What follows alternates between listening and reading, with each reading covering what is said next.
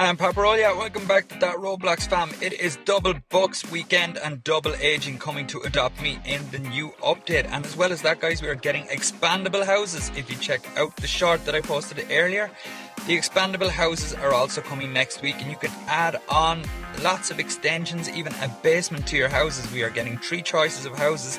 There is the friendly house, there's also the luxury house, and then I think it's the mansion house possibly wrong with that because I'm trying to remember, but the friendly house is going to cost 675 bucks. So if you want to buy that and you can put on all of your extensions onto the houses as well, which is pretty cool.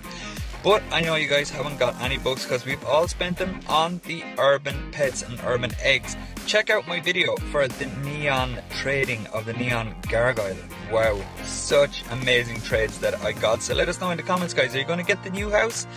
Or is there enough houses in Adopt Me? I just wish we could sell our houses or trade our houses to each other. Let us know in the comments if you agree.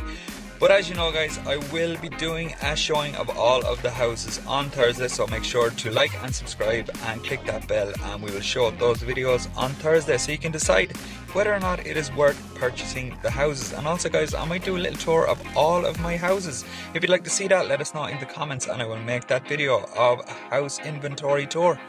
That's it for now. Thanks so much for watching. We'll see you again real soon. Bye bye.